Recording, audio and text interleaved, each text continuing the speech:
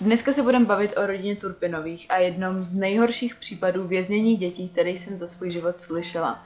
Všechno vyplulo na povrch v lednu 2018, kdy tehdy 17-letá Jordan zavolala na policii s tím, že její rodiče jí a jejich dalších 12 sourozenců věznějí u sebe doma. Policie si nejdřív myslela, že jde o prank, ale musela to samozřejmě jít prověřit a ani ve snu je nenapadlo, co všechno tam v tom domě najdou. Takže se pojďme podívat na případ úplně od jeho samého začátku.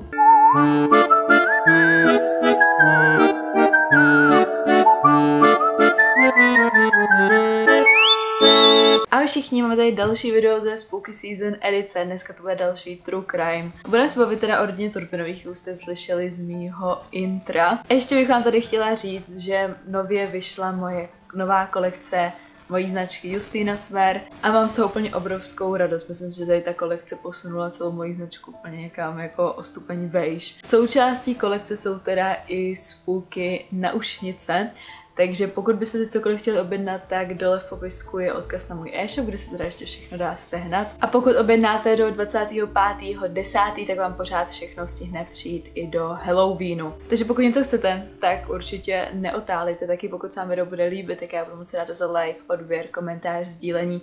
Všechno tohle mi strašně moc pomůže, podpoří to mě a můj kanál, moji tvorbu. A to bude všechno z takového úvodu a vrhneme se na samotný příběh. Thank you. Pár, o kterém se dneska budeme bavit, je David Ellen Turpin a Louise Ann Turpin. Ta byla narozená jako Louise Ann Robinet. Louise se narodila 24. května roku 1968 v Princetonu v západní Virginii. Rozhodně ale neměla nějak hezký dětství, její sestra pro Daily Mail řekla, že jejich matka je jako děti prodávala bohatýmu pedofilovi, který jí teda dával peníze výměnou za to, že zneužíval její dcery. Oni prý matku strašně moc krát prosili, aby to prostě nedělala, ale ona jim na to vždycky řekla, že je přece musí nějak jako oblíct a dát jim najíst a že prostě potřebuje ty peníze, což mi přijde naprosto odporný, nechutný. Nechápu, co to bylo za matku. To nebyla žádná jako matka samoživitelka, ale jejich otec byl kazatel. Nikdy jsem tam nedohledala to, jestli jako on o tom věděl nebo ne, nebo jak to tam jako bylo o jejich jako dětství.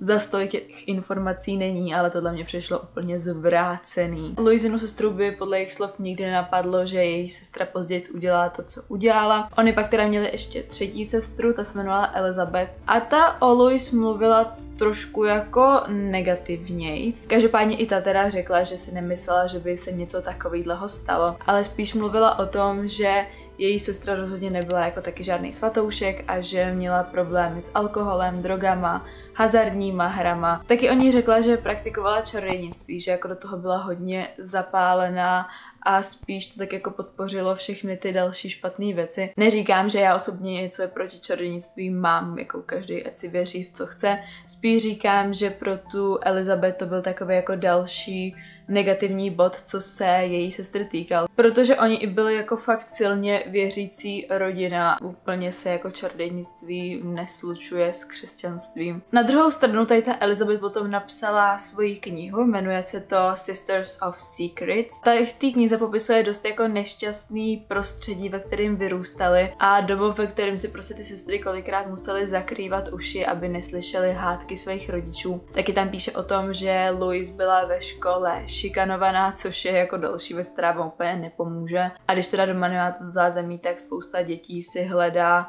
tady to zázemí potom ve škole a když ani jako to nedopadne, tak je to prostě jako hodně blbý. Ona tam teda pak i mluví o tom, že v těch Luiziných 40 letech tady situace jako hodně vygradovala, že jako často chodila do baru a vulgárně se oblíkala, vulgárně se chovala. Ale i tak řekla, že si nikdy nemyslela, že by její sestra byla tohodle schopná. Což jako na druhou stranu i to, co popsala, už by jako nebylo úplně vhodný prostředí pro výchovu dětí. I kdyby se o ně třeba nějak jako snažili starat, úplně se nechcete koukat na to, jak je vaše mamka každý den nalitá, prohraje veškerý prachy v nějakých automatech a do toho chodí oblečená jako prostitutka, jo, prostě není to fajn, nehledě na to, co se tam potom stalo a pak vám ta sestra řekne, já jsem si nemyslela, že ty děti jsou tam nějak jako ohrožený. Jako, co to je? Myslím si upřímně, že celá ta rodina je taková trošku zvláštní, při nejmenším. Každopádně v tady tom příběhu máme dva, takže pojďme se teďka podívat na Davida Turpina. Na rozdíl od Louis měl úplně jako, bych řekla, až idylický dětství. Měl prostě stabilní rodinu a ve škole se mu víc než dařilo. On teda vystudoval počítačový inženýrství na Virginia Tech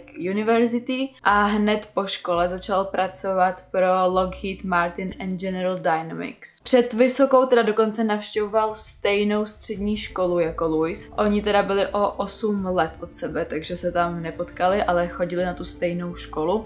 A i tam jako se mu hodně dařilo. On byl braný za takového toho nerda, ale v takovém tom dobrým slova smyslu. A byl předsedou fakt spousty klubů. A to teda biblického klubu, šachového, vědeckého klubu a taky sboru a kapela, což je třeba toho, co bylo v Pitch Perfect, takový ty trochu víc cool sbory třeba pro mě. Tak prostě tohle on tam vedl nebo byl jako předsedou tady toho klubu. S Louis se teda seznámil, když ona byla ještě dost mladinka a mluví se o tom, že se poprvé potkali, když jí bylo ještě 14 a jemu už 22. Chodit spolu začali, když jí bylo 15, což teda jako se nelíbilo Louisiny rodině, její otec o tom teda jako vůbec nevěděl. Její mamka o tom věděla, její sestry o tom věděli a její mamka jí teda potom jako tajně dovolila s ním chodit. Chápu, že jako mamka z toho nebyla úplně nadšená, myslím si, že moje by taky nebyla. Ta její sestra tam potom říkala, že její mamka chápala, že ho má jako hrozně ráda a líbilo se jí, že je taky z křesťanské rodiny, takže brali tak, že to je jako v pohodě. A její táta byl teda o dost striktnější, takže předtím to radši tajili. Do téhle doby dobře, tak prostě holčina si našla staršího přítele. Aspoň si říkám, že je dobře, že ta mamka o tom věděla, protože kolikrát to bývá takže rodiče o ničem nevědí a pak jsou hodně jako překvapený. Tak tady teda o to mamka věděla, ale překvapený byli stejně. Protože když bylo teda Luis 16 let, odešla ze školy, respektive David jí prostě přesvědčil, že pro ně jako bude lepší, když odejde, odejdou spolu a začnou žít nějaký jako svůj život.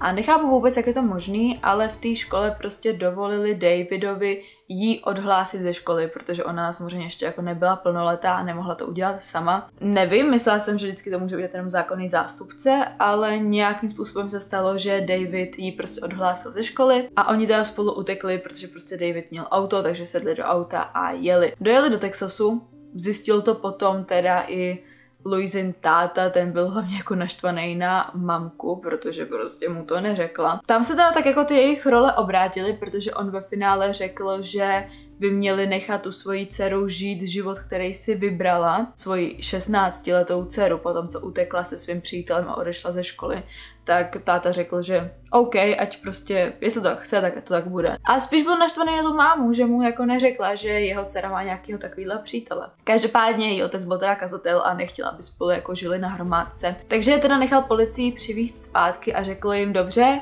můžete spolu bejt, ale vezmete se, ať prostě to máme nějak jako stvrzený ten svazek, ať jako si můžete dělat techtle mechtle. Takže v roce 1984 se Louis Davidem vzali, proběhl malý církevní obřad v Princetonu, v tom jejich jako rodném městečku a potom dle teda Louis Davidem se odstěhovali zpátky do Texasu, aby tam začali svůj manželský život. Tímhle celým byla ta jejich důvěra dost jako pošramocená a oni se od té doby prostě už neviděli. Tohle teda se snažil zlomit Louisin táta, když v roce 2012 odešel do důchodu a chtěl se teda za nima přijet podívat, jak jako žijou a tak a ona mu řekla, že si to prostě nepřeje, prosila ho, aby nejezdil. Zpětně jako je nám všem jasný, že to bylo proto, protože v té době už se v tom domě dávno děly ty zvěrstva, které se tam děly. Tohle jako nezatajíte, když k vám někdo přijde. V únoru 2016 teda zemřela Louisina matka a jenom tři měsíce po ní i Louisin otec. Oba na smrtelný posteli prosili Louisu, aby se prostě na ně naposled přijela podívat, ale ona to neudělala a nepřijela teda potom rodičům ani na pohřeb. Na oba tyhle pohřby se ale dostavil David, což je takový jako trošku zvláštní, já nevím, jako to ve finále potom už nemělo žádnou další dohru, ale prostě je to zvláštní, jako. Turpinovi teda žili dost izolovaně od sousedů, od veškerých nějakých přátel, byli tak jako sami pro sebe a mezi lety 1988 a 2015 měli celkem teda 13 dětí deset dcer a tři syny. Protože oni teda byli silně věřící a podle jejich slov je Bůh předurčil k tomu, aby měli takhle moc dětí. Na druhou stranu, až vám řeknu, co se jako s těma dětma dělo, tak vám bude úplně blivno a nechápu, že lidi, kteří jako tady vykřikují, že Bůh po nich chtěl, aby měli spoustu dětí, pak se svýma dětma dělají tohle, co dělají. Tohle podle mě úplně to samý, jako její otec, který byl sice kazatel, ale máma potom ty děti prodávala nějakým úchylovi. Rodina se teda celkem často stěhovala a nějakou dobu bydleli i ve městě Rio Vista v Texasu. A když se teda pak v roce 2010 odstěhovali, tak sousedi v tom jejich domě našli mrtvý zvířata, spoustu výkalů, špíny a celkově ten dům byl prostě úplně v hrozném stavu. V té době ale jako nikdo nic neudělal, prostě ta rodina odjela pryč a byly to asi prasata. Dobře, něco jiného je špína a něco jiného jsou mrtví zvířata. Já jako nevím, co bych na jejich místě dělala, samozřejmě nikdy jsem se do takovéhle situace nedostala. Tohle je prostě minimálně hodně, hodně divný a nevím, jestli by to nebyl aspoň třeba nějaký přestupek, něco by se na tom mě dalo vyšťourat, proč by to třeba ta policie měla vyšetřovat, pak by se třeba i dřív přišlo na to, co se v tom domě dělo. I když se teda Davidovi v profesním životě dařilo, tak v roce 2011 vyhlásil bankrot, protože dlužil na kreditních kartách nějakých 240 tisíc dolarů. Přičemž z dostupných dokumentů, co jsem tak jako našla, tak jeho roční příjem činil 140 tisíc dolarů, což je v našich nějakých 300 tisíc korun měsíčně který on vydělal, jak mohl dlužit. Kdybyste si třeba chtěli říkat, jako měli spoustu dětí, asi za ně hodně utráceli, tak ne. Za chvíli se dostaneme k tomu, že ty jejich všechny děti je takových peněz určitě nestály a že jako fakt na nich šetřili, jak mohli. Bylo to spíš proto, že jeho manželka měla jako záliby v drahém oblečení, oba milovali Disney, takže si myslím, že jako utráceli peníze za tohle. David teda pracoval u té firmy a mimo to byl vedený jako ředitel soukromé školy Handcastle, kterou teda provozoval ze svého domu a která byla určená pro jeho děti. Louise teda potom byla vedená jako žena v domácnosti slash hospodyně, někde jsem našla hospodyně, někde žena v domácnosti, ve finále ona prostě byla doma. Oni v tu dobu, kdy se na tohle přišlo, tak jejich nejmladšímu dítěti teda byly ještě dva roky. Plus taky nějak figurovala v té jejich soukromí domácí škole, tam taky jako měla nějakou funkci. V Americe je totiž nějaký tady ten homeschooling o dost rozšířenější než třeba u nás. Turpino jim to prostě dávalo dobrou záminku pro to, proč svoje děti nemusí posílat do školy a tady to jim jako hrozně vyhovovalo, protože prostě když by ty děti chodily ráně někam do školy, tak by se na tady to všechno přišlo jako hrozně rychle, že jo. V roce 2014 se potom rodina přestěhovala do města Paris v Kalifornii, kde teda potom došlo později i k tomu odhalení celého toho případu.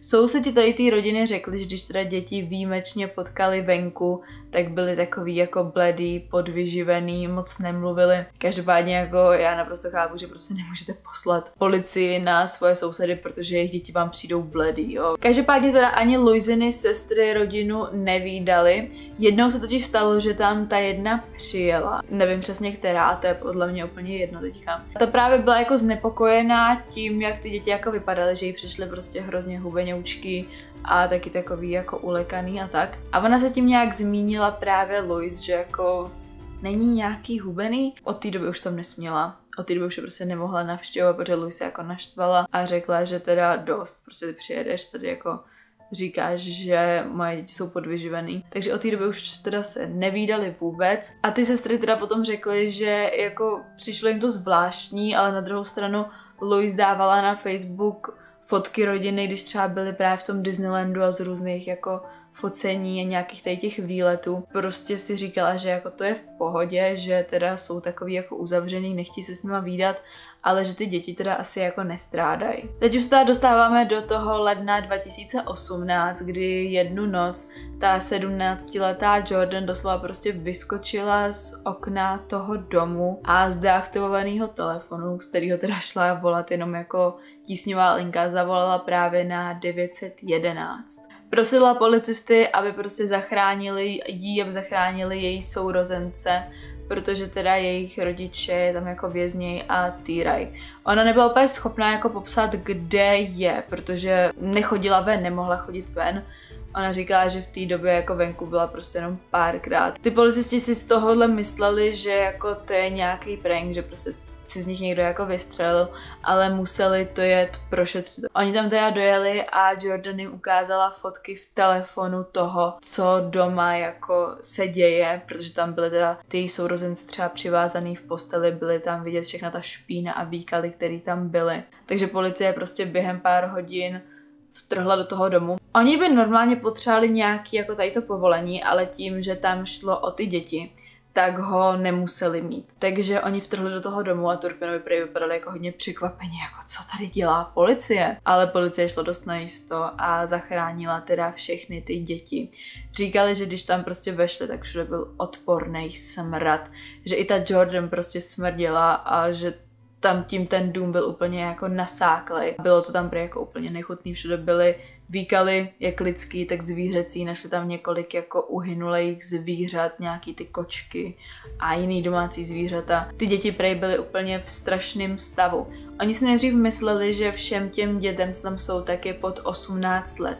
Ve skutečnosti ten nejstarší mu bylo 29, to jejich nejstarší dítě ve svých 29 letech vážilo 82 liber, což je lehce přes 37 kg. Tohle byla ale jenom první vlna, protože postupně začalo vyplouvat na povrch, co všechno tam ty děti musely snášet mohli teda jíst jenom jedno jídlo denně a když říkám jídlo, tak to myslím dost jako nadneseně, protože kolikrát to byly hnusné věci, skažený, plesnivý a měli prostě jenom tady to jedno jídlo denně. Taky nějakých 20 hodin denně byli zavřený v jednom pokoji.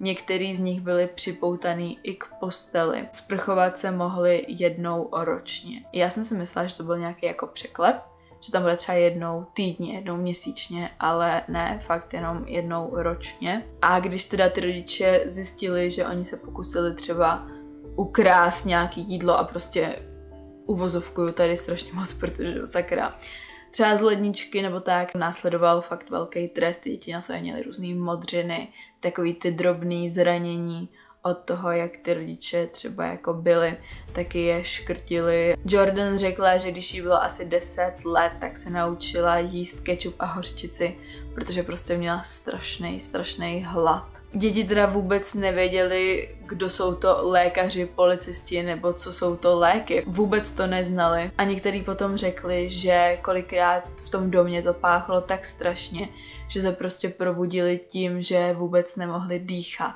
Jordan řekla, že zaslechla rodiče, jak plánují celou rodinu přestěhovat do Oklahomy a to byl pro ní prostě zlomový bod, kdy si řekla, že ne, že k tomu nesmí dojít. To jí jako popudilo k tomu konečně zavolat policii, protože oni to plánovali prý dva roky, ale hrozně se báli, protože se prostě báli, že když ty rodiče zjistí, že utekli nebo že tady to udělali, tak je prostě zabijou. Ale že už si potom Jordan řekla, že už to je jako jedno, že jestli se to má stát, tak se to prostě stane ale že to nemůže být horší než to, v čem tam žijou. Prokurátoři teda potom popsali, že děti byly tak traumatizovaný, že ty kognitivní poruchy a poškození nervů, který třeba i v důsledku té špatný nebo vlastně skoro žádný stravy jako utrpěli, je tak závažný, že nejspíš ovlivní zbytek jejich života. Louis Davidem teda byli nakonec obviněni z 12 případů mučení, 12 případů nezákonného uvěznění, 7 případů zneužívání dospělých a 6 případů zneužívání dětí.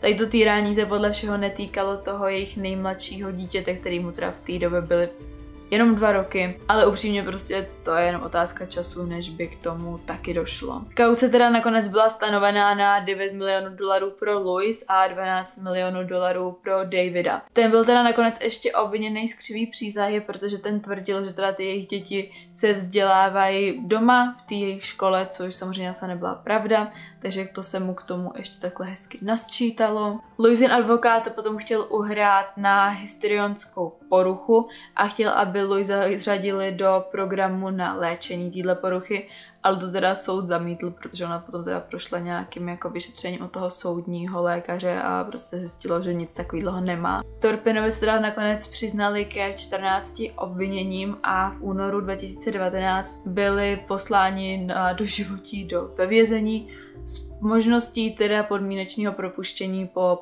25 letech. Ty odborníci řekli, že vzhledem k závažnosti toho, jejich trestního činu, tak se nepředpokládá, že by na to podmínečné propuštění někdy jako dosáhli nebo že by ho někdy dostali. A já doufám, že ho nedostanou a že se tam jako pěkně zhnijou, protože teda většinou lidi, kteří nějak jako obližují dítěti nebo dětem, tak to potom ve vězení nemají úplně lehký, takže já jim jako jedině tady to přeju. Oba jsou teda ve vězení v Kalifornii, až na to, že David je teda v nějakým tom mužském zařízení a Louis je v ženském zařízení. Právník, který teda s dětma pracoval, tak byl úplně jako okouzlený tím jejich optimismem a chudí do života a řekl, že ty děti prostě jsou smířený s tím, co si jako přetrpěli a že teďka jako hledějí spíš do budoucna a chtějí prožít jako ten svůj život co možná nejvíc naplno. Tím ale rozhodně to utrpení dětí jako nekončí, protože já jsem si říkala, jo, tak prostě teď je vysvobodili, teď už se budou mít dobře. Není to teda úplně tak. Děti si teda pobyly nějaký dva měsíce v nemocnici, kde ty lékaři se je snažili dát nějak dokupy a potom pět z nich, který v tu dobu ještě nebyli plnoletý, tak byli svěřený do pěstounský péče. Ale byla to rodina, která je zase týrala a já nechápu, jak je tohle možný, co je tady to prostě za osud a jak jako se vůbec tady ty lidi mohli do toho pěstounského programu dostat. Protože oni nejenom teda, že nakonec byli obviněni z týrání tady těch dětí, ale byli obviněni i z týrání dalších dětí, které tam u sebe v té pěstounské péči měli. Jejich noví rodiče je třeba byli do obličeje, tahali je za vlasy, byli je páskem, nebo je nutili jíst tak moc, že se potom z toho děti pozvraceli a následně museli jíst i ty zvratky. A aby toho nebylo teda málo, tak jejich adoptivní otec byl potom obviněný i ze sexuálního obtěžování. Já jsem prostě tak naštvaná, protože jak se tady to může stát? Jak vám tady ten člověk do toho systému prostě proklouzne? Na začátku roku 2020 Zástupce okresního prokurátora Riverside Country oznámil, že děti v současné době žijou nezávisle, že pracují nebo chodí do školy a že jeden z nich teda dokonce absolvoval vysokou školu. A je teda pravda, že oni se na ten normální život strašně moc těšili ale vůbec nic o něm nevěděli, protože ho prostě do teďka vůbec nezažili. A museli se teda projít různýma obtížma. V listopadu roku 2021 vyšetřování časopisu ABC uvedlo, že některý z dětí v současné době jsou bezdomová, respektive prostě žili jenom díky takovému tomu couchsurfingu, kde prostě spíte u někoho na gauči, protože došlo k nějakému zanedbání ze strany sociálních služeb a děti jsou prostě odříznutý od 100 000 dolarů, který oni dostali darem na právě jako začátek toho jejich nového života, aby se dokázali nějak jako postavit na nohy, koupit si třeba nějaký dům a než jako se zvládnou o sebe nějak starat, aby měli nějaký ty finanční prostředky a že prostě ani jedno z těch dětí není schopný z toho účtu, na kterém ty peníze mají cokoliv vybrat, protože jim k tomu prostě byl odříznutý přístup. A tenhle celý případ se tak nějak jako znovu oživil v červenci tohohle roku, když sourozenci podali žalobu právě na tu agenturu, která zprostředkovávala tu pěstounskou péči. Jsou to vlastně dvě prakticky totožné žaloby. Ty děti se nějak rozdělily na dvě poloviny. Myslím si, že na ty, jako co byly nezletilí a přímo se jich to týkalo a pak na ty zletilí, který teďka za ně nějak jako taky bojujou. Každopádně teda ta žaloba pořád probíhá, pořád to není dořešený, ale jako moc moc bych jim přála, aby to vyhráli. Myslím si, že to prostě vyhrajou. Ještě jsem vám chtěla říct, že Jordan je v současné době celkem aktivní na TikToku a vlastně byste ani jako nepoznali, že si něčím takovýmhle prošla z toho TikToku jako vůbec, na tom prostě dělá takový ty jako tanečky. Pak na Instagramu už teda má nějaké jako odkazy na třeba různé články nebo rozhovory, které teda ona podala a je to upřímně jako hrozně hezká slečna a má takovou tu jako jiskru a je na ní jako vidět, že prostě má tu chuť do života a, a byl jako hrozně hezký sledovat, takže pokud byste ji chtěli sledovat, tak jako klidně můžete, že jo? Je na tom TikToku. Takže, takže tak. To bude ode mě dneska všechno, bylo to hrozně těžký téma, doufám, že se vám video líbilo, jestli jo, tak budu moc ráda za like a odběr. Mějte se krásně a uvidíme se zase příště. Ahoj!